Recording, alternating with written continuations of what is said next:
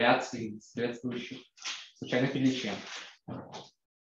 А, ну вот в машинном обучении обычно рассматриваются стационарные процессы с нулевым средним, причем даже не стационарные, а э, изотропные, то есть они зависят, так, наверное, здесь, они зависят только от э, расстояния между точками, и причем э, мы считаем то, что с точностью до дисперсии процесса и его масштаба, то есть растяжения, это одна из следующих хорошо известных функций. Это либо так называемое RBF-ядро, либо это конверсионная функция Матерна, либо, ну, вот еще какие-то, часто используем их можно вот найти, например, их реализацию можно найти вот в GPyTorch. А, обычно используется матер 3 вторых 5 вторых из-за того, что эта формула упрощается и ее становится легко вычислять. Вот. Ну вот выбор К, он влияет на то, как будут выглядеть процессы, а также он влияет на гладкость. Ну, например, если мы возьмем, будем получать процессы с ядром RBF, то они будут почти, наверное, бесконечно гладкие, а если с матром, то они будут необходимое число раз дифференцировать. Они, гауссовские процессы используются для регрессии, и, э, извините, ну вот общая постановка задачи регрессии, да, она всем простая, это у нас есть каких-то точках x1, xn мы измерили какие-то зашумленные данные y1 и yn, некоторые неизвестные функции f. И мы хотим по этим знаниям получить, э, предсказать значение f в каких-то других точках. Соответственно, давайте будем использовать, грубо говоря, байесовский подход. Мы заведем априорное распределение на функциях, и точнее мы будем считать то, что наша, наша функция – это реализация какого-то случайного гаусского просто гаусского процесса с каким-то конверсионным ядром k. Пока мы считаем, что k фиксирован. Хорошо, тогда мы хотим найти опосредованное распределение, то есть э, условное распределение, ну, при условии, что наш, короче, распределение процесса при условии, что мы пронаблюдали наши входные данные. Ну, вот давайте заметим то, что если мы ограничим наш процесс на x и x со звездочкой, то мы получим просто конечномерное распределение, и мы знаем то, что оно получается многомерной нормальной случайной величиной. Соответственно, мы можем просто применить стандартную а, формулу для условной, условного распределения нормальной случайной величины и получаем следующую формулу. Давайте сразу отметим, что в этом случае у нас, во-первых, корреляционная матрица не зависит от того, какие значения реализовались.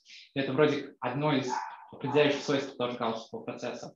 А во-вторых, для того, чтобы провести эту регрессию, нам нужно обратить вот эту матрицу, нам нужно обратить эту матрицу. Ну, какой у нее размер? Это корреляционная матрица наших входных данных, то есть у нас получается кубическая сложность по количеству входных данных, и это, ну, это довольно плохо.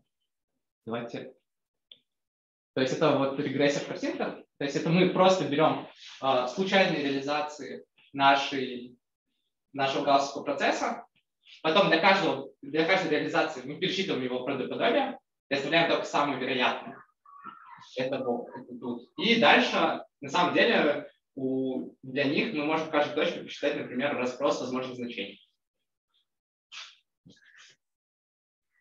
А, теперь давайте к тому, ну вот мы изначально предполагали, что К неизвестно. Ну, понятно, что на самом деле делать, если К, К у нас неизвестно, К, К неизвестно. Во-первых, мы выбираем ее, опять-таки, в таком виде, ну и выбираем параметрическое семейство, исходя из того, какие требования на функцию мы накладываем. То есть на практике, вот, например, мы используем три вторых, потому что слишком гладкие решения получаются вот, не диалогичными. Поэтому... Что? Что? что ну, матрица три вторых. А? Матрица с параметрами а. вторых. Ну или пять вторых. Соответственно, а, а дисперсию и разброс нашего процесса мы можем подбираем, мы подбираем просто метод максимального подобия. То есть мы просто максимизируем вероятность наблюдения а, пары x и y, которую мы вводили раньше. Ну или мы можем на самом деле ввести какие-то, завести априорные распределения на sigma L и опять-таки искать априорное распределение по формуле Weiss. Но в этом, у этого случая есть минус. В этом случае у нас получается не аналитическая формула зачастую, и просто так мы, у нас ничего не получится. Ну, соответственно, плюс – это вероятность характер предсказания, который говорит о том, что мы не только предсказываем значение в каждой точке. И также мы можем сказать, насколько мы не уверены в этом предсказании. И, ну, или зависимость между точками и так далее. Дальше. Работает с малым, с малым числом данных. Среди минусов, это опять-таки то, что упоминалось, то, что скорость нашего э, работы нашего алгоритма кубическая от количества наблюдений. И наивным способом, даже здесь четвертой точки, ну, обраб... ну, обработается, конечно, но долго. Но на самом деле для этого есть приближенные методы, и я расскажу о них, если у меня останется время. Соответственно, последний минус – это предполагается стационарность данных. Но опять, потому что мы зачастую используем наше ядро в виде ну, стационарно. Соответственно, давайте перейдем, как мы это используем в моделировании. Ну вот мы можем считать, что куб, что месторождение представляет себя куб 0,1 куб э, со стороной 1. Ну, понятно, что если это не так, мы можем просто его параметризовать и всегда находить данный какой-то параметр. Во-вторых, у нас на месторождении прогулены вертикальные и горизонтальные скважины, и в данных измерены измерения, причем их довольно немного, того и другого. И требуется геологично распространить... А, а что измеряется? Концентрация полезной руды или что? А, измеряется, по-моему, типа гамма-распад. Гамма-кратаж, то есть э, то, насколько тактим там происходит в районе, в районе датчика происходит гамма-распад. А, радиоактивность. Радиоактивность. Да, у песка и у глины это по-разному. Там больше других характеристик, например, сейсмический баланс. Вот у нас задача и еще проницаемый. Вот, требуется геологичное ну это гамма-распад, это они датчики. Ну, вдоль скважин датчики стоят. Можно вопрос? Да. А во вторник, а если мы уже смеялись, я еще раз прошу, что значит биологично? А, ну, подожди, а, а тебе не ответили? Чтобы геологу понравилось. Ну вот на картинке Ну, в смысле, ну сейчас у меня там будет картинка следующая. Ну, вот, это вот результат работы наших алгоритмов. Здесь вертикальные скважины, это, соответственно, точки, в которых есть измерения, а куб — это симуляция. Ну вот геологично, я не знаю, ну, так. Ну вот, я нашел рандомную картинку из интернета. В ней как бы видно пласт. Вот геолог ожидает то, что структура, которую он видит, она будет чем-то похожа на это. То есть пласты какие-то? Да, пласты какие-то. То есть... Значит, на всякий случай, ты сейчас пытаешься задать вопрос, формализовать. Мы очень много провели времени, да, значит, с геологами, чтобы, ну, с Газпром нет, да. чтобы попытаться это формализовать. Да, да, я поэтому и спрашиваю. Мы не особо преуспели. Да, да, к чему этот термин геологический? К внешнему виду? Внешнему виду, да. А, То есть нет. там валидация, как бы там как нет, валидация. Нет, нет, внешний вид самое простое, что для геологов понятнее всего. Берете карты э, эти, карто, картографии геологической, там, если известняк, то он рисуется кирпичиками, если песок, то он рисуется точечками.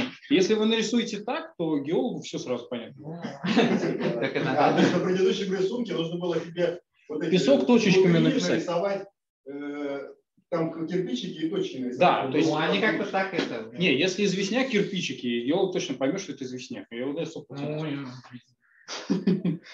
а, так вот, да, смотрите, ладно, давайте продолжим.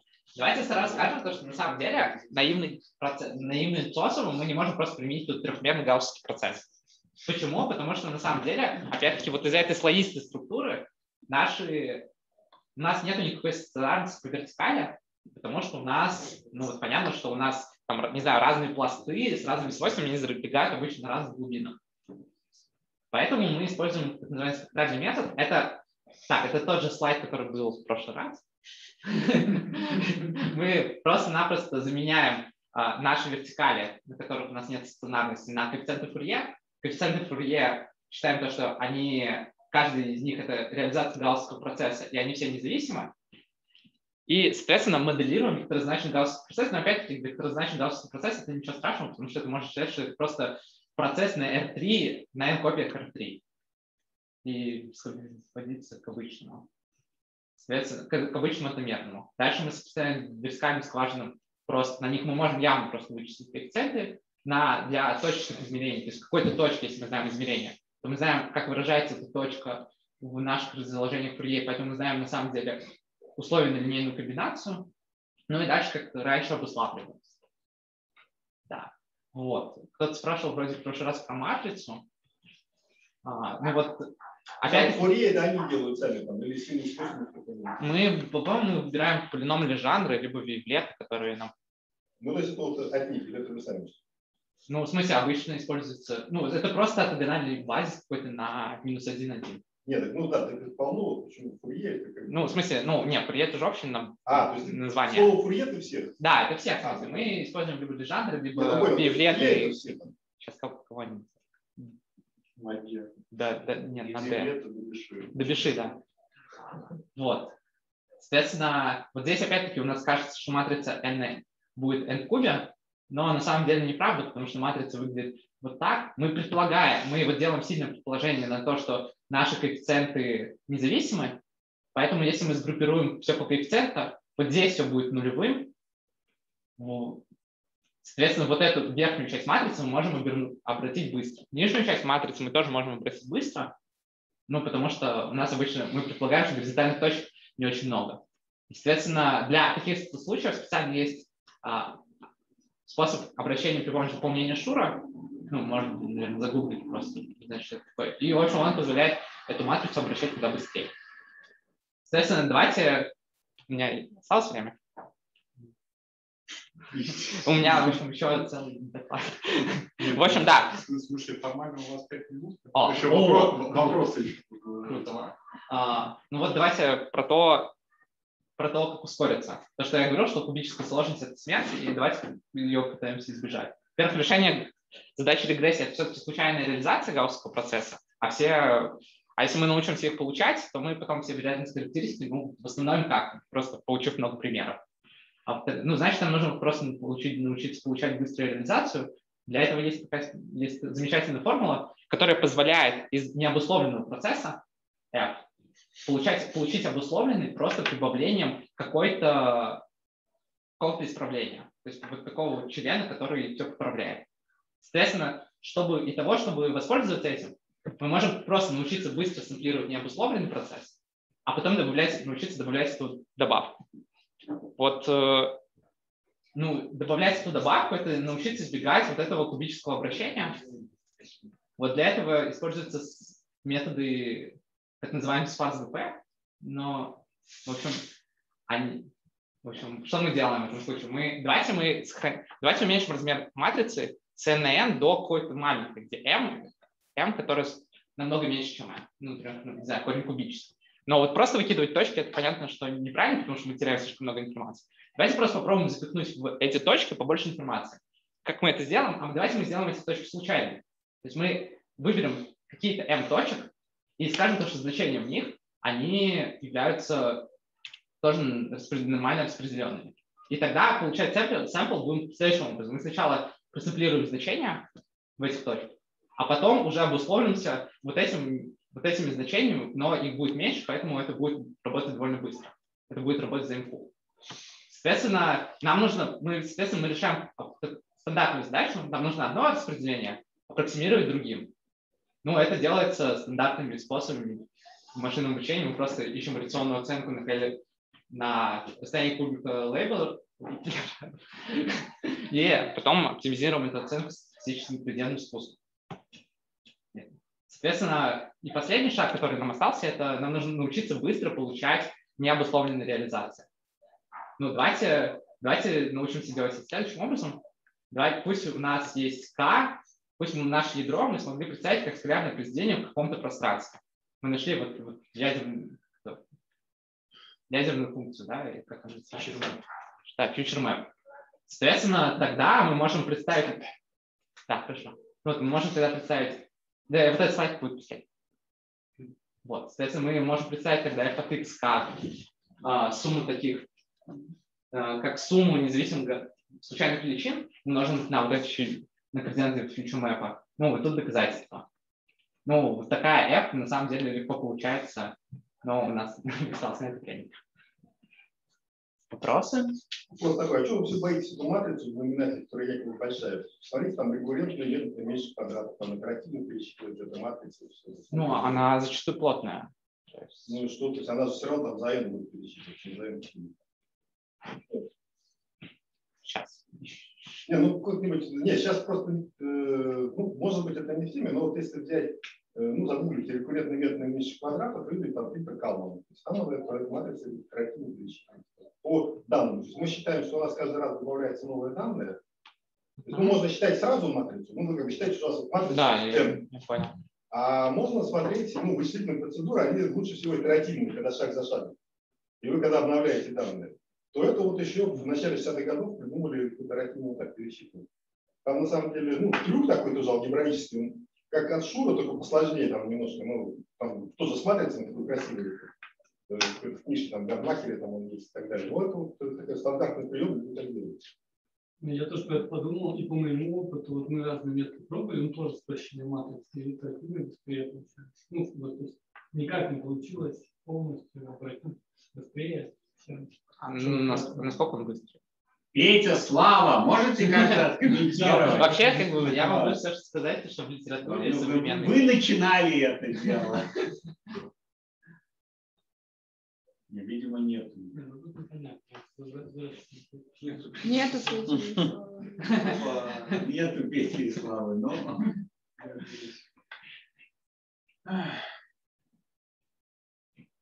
Ну, насколько быстрее это такой вопрос непростой, то есть надо конкретно смотреть, но вообще там... Там же еще проблема, то, что на самом деле то, на самом деле бутылочное горлышко, оно не в обращении матрицы, оно когда мы протаскиваем через эту матрицу градиент.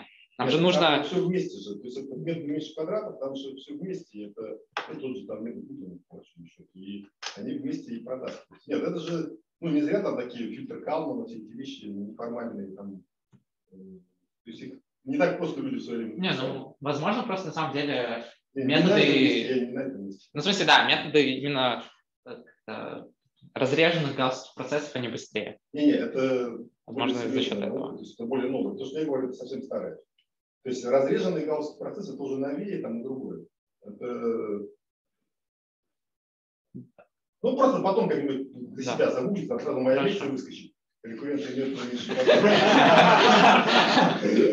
Нет, ну если так писать, то Все. Так, ну тут уже, как я понимаю, есть все вопросы. Если кто-то хочет задать вопрос, есть это сделать. А вот эта вот ге- геологичность, она влияет на выбор ядра, на выбор болезненных функций? Ну да, да. Правильно. Типа, и мне вот, например, не нравится слишком гладкие Ага. в решении, поэтому мы выбираем матрицу. Да.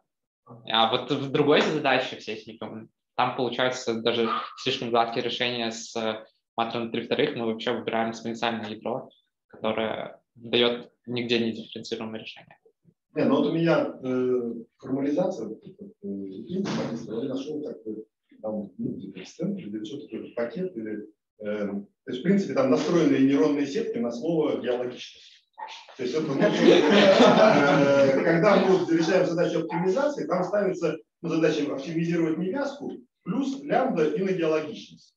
И вот э, люди, на самом деле, уже до техасской нефти, там, до всего, они вот эту геологичность уже описали нейронной сеткой функции, да, которую можно вот, у меня киньте просто скармливать его в классификатор, да, и э, то есть уже люди как бы что-то понаделали, подписали, то есть это наши просто, может, еще пока этого не верят, что, ну, Диплёнинг вообще мало кто поверит, да, что ну, геологичность скажется, что нейронная сетка, она выдаст как геологичность, да. Но по факту оно так красиво, и те вроде верят начинают.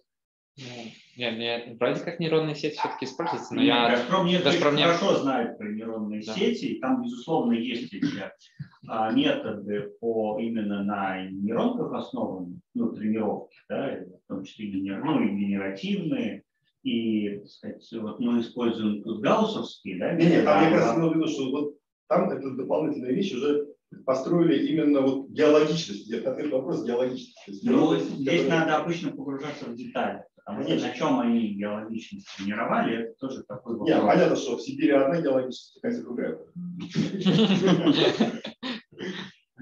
Хорошо. Да, кстати, да, я забыл сказать, что вообще это вот направление с быстрым сэмплингом, оно делается моими коллегами, соответственно, Славой и Петей, ну и другими организаторами. Хорошо. Спасибо. Давайте похлопаем. Агрессивный. Да.